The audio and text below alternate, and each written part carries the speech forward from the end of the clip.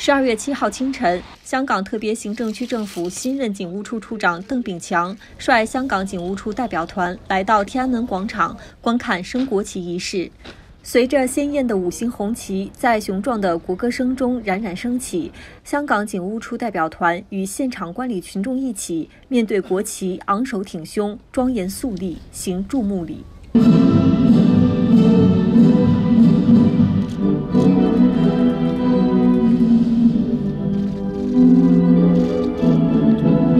thank you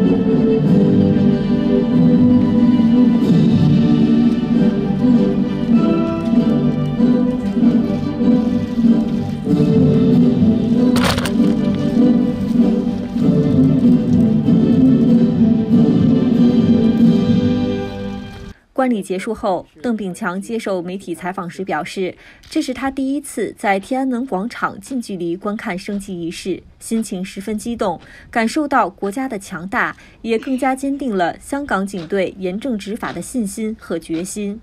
今天是我头一次这么近距离去看这个升旗典礼，我心情是非常的激动的，就是看见这个国家的国旗的飘扬，就是感受到国家的强大。邓炳强表示，香港警队将秉持忠诚勇毅、心系社会的精神，团结香港社会各界，凝聚香港社会反暴力、护法治、保稳定的正能量，早日实现止暴制乱、恢复秩序的目标，坚决维护香港法治和社会秩序，为维护香港持续繁荣稳定、一国两制行稳致远做出新的更大贡献。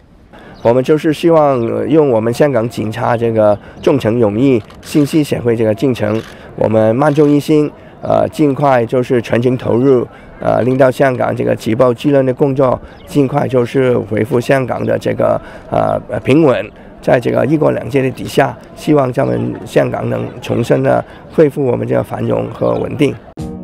更多精彩尽在中国新闻网客户端。